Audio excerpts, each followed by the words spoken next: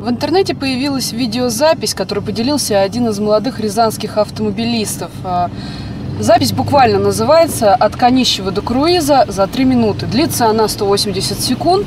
А, мы решили проверить, насколько это а, реально, ведь запись была сделана именно в тот день, когда Северный объезд был открыт. Тогда еще не все автомобилисты знали о нем.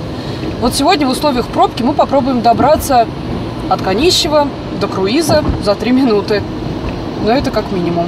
Итак, делаем вывод. Дорога, конечно, хорошая, качественная, но пока ситуация на Московском остается непростой, и северный обход решает проблему во многом, но, разумеется, не во всем.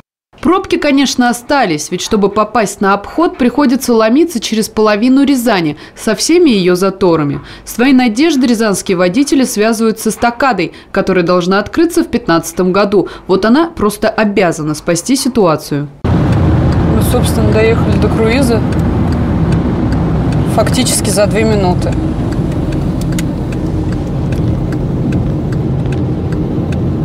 Время 9.35. Уехали мы в 33 минуты. Единственное, что смущает, что дорога новая, а никаких ни велосипедных дорожек, а, ни пешеходных переходов, кстати, с учетом, что есть там такая вещь, как тротуар.